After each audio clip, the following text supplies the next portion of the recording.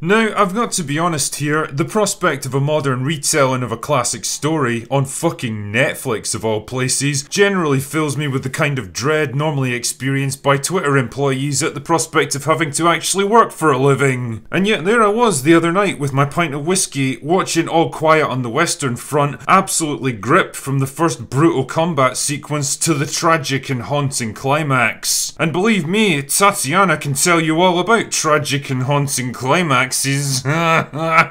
anyway, the point here is that it's become very easy for me to shit all over the idea of anything good being remade or reimagined today, because let's be honest, Hollywood doesn't exactly do themselves any favours in that regards. Hey, which story shall we fuck up today? All of them.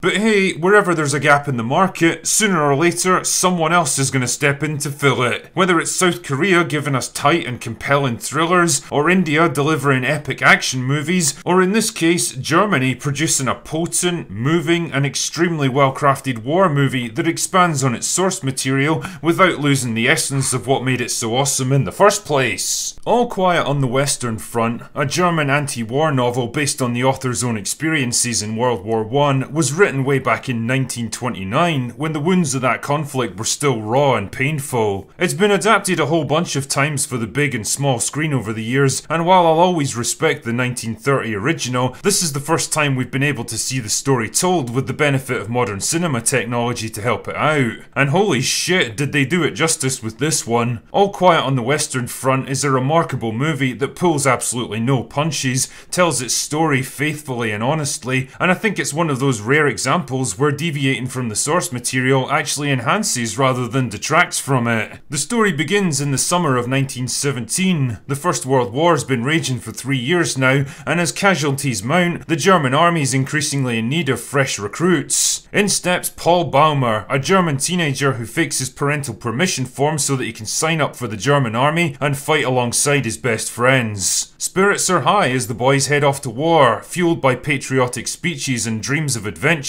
just like so many other young men before them. The fact that they're wearing uniforms stripped from their dead predecessors and hastily patched up is a pretty chilling taste of what's to come. Naturally, it doesn't take long for the harsh reality of trench warfare to hit them in the face, harder than a gender studies graduate trying to get a real job for the first time. Within minutes of arriving at the front line, the four friends are surrounded by mud, blood, and death, and by the end of the first day, one of them's already been killed by an artillery strike, and Paul himself almost gets killed when his dugout collapses on top of him. It's a hard, brutal introduction to a hard and brutal war. Flash forward 18 months or so, and things are looking bleak for the Germans. After four years of attrition and a series of crushing defeats, they're running out of men to feed into the meat grinder. Defeat seems inevitable, leaving them no choice but to sue for peace. But even as a delegation heads off to negotiate an armistice with the French, the German High Command orders a massive offensive in the hopes of improving their position. It's a pointless gesture of defiance, sacrificing thousands of lives on the altar of pride and ego, but nobody's willing to refuse orders so ahead it goes anyway. That means sending Paul and his unit back to the front line to keep fighting a war that's already been lost. But will any of them hope to survive the final destructive days of the First World War? And if they do, can they ever hope to return to the lives they once had?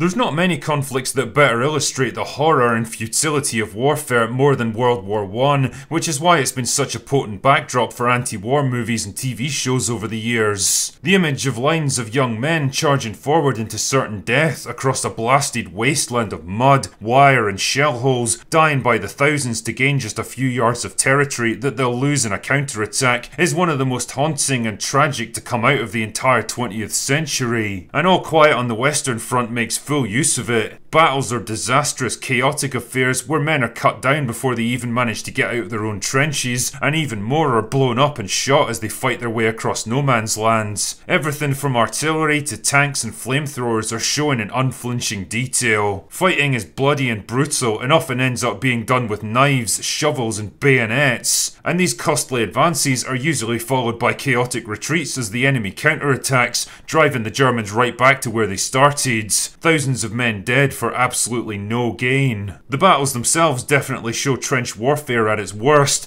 but some of the most revealing stuff happens when the fighting stops. Life in the trenches is a weird mixture of danger, boredom, tedious work, and physical hardship. Sniper fire, enemy raids, and artillery strikes are irregular hazards. Everyone's cold, wet, covered in mud, and hungry most of the time. Soldiers adopt a kind of grim fatalism where nobody really expects to make it out alive. Even behind the lines and away from the immediate danger, Paul and his friends might find moments of happiness in their shared camaraderie, but privately they voice their regrets of the past and their fears of the future. It's a story that delves into the complex and often conflicting emotions felt by soldiers who fought in wars like that. The desire to go home and the fear of what that might bring, the hatred for the rules and discipline of army life, and the comfort and reassurance that order and structure can bring. The realization that they'll never be the men they once were, that they can never truly forget the things they've seen and done. It's the musings of a lost generation who can already sense what they'll eventually become.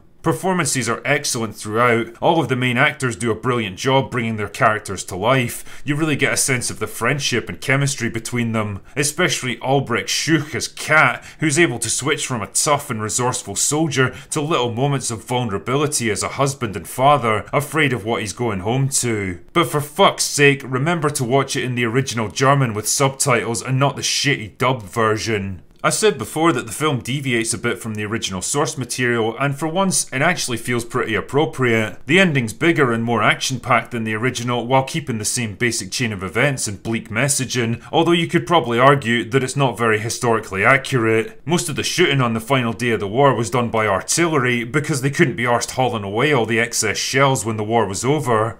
sure, yeah, okay. There's also a subplot about the German High Command as they reluctantly concede the war is lost and peace is the only option. It's not exactly essential to the narrative, but it gives some much needed context for people that might not know the history, especially nowadays, and how the seeds of fascism were first sown by the betrayal of a humiliating peace treaty. And as always for films like this, the contrast between generals and diplomats living in obscene luxury far from the front lines, deciding the fate of men toiling away in mud and squalor is as jarring as it is unfair. There's not a huge amount I can offer here in terms of criticisms. I mean, if I had to be super harsh, I'd say the film's budget constraints sometimes show through during the big battle scenes, where it's pretty obvious they had to use VFX for the flamethrowers, tanks, and big overhead shots. But honestly, it's nothing but a minor observation that's gone before you really notice it. The soundtrack occasionally feels out of sync with what's going on, and for some reason I'm weirdly reminded of Das Boot. Either way, none of this stuff should detract from the fact that All Quiet on the Western Front is an excellent adaptation of one of the most powerful anti war stories of all time. A film that makes absolutely no concessions to the message or modern audiences and delivers the kind of harrowing experience that'll stay with you long after that final scene. So for me, it gets a well deserved drinker recommends. Anyway, that's all I've got for today. Go away now.